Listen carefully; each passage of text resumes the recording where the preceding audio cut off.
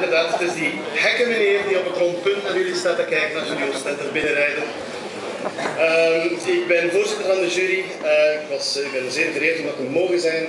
Eh, ik was natuurlijk niet alleen. We hebben acht verschillende films gezien, acht verschillende genres.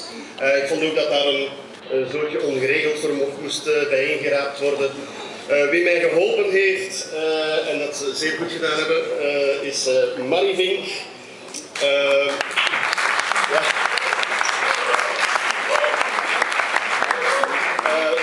Eh, Dirk Roofdhoofd, Marcus, eh, Diesel, Joop Daalmeijer, eh, Hilde van Michel natuurlijk, sorry om het leeft.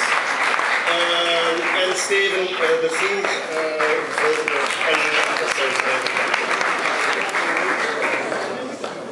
Dus eh, ik ga niet eh, langer in eh, spanning eh, laten. Eh,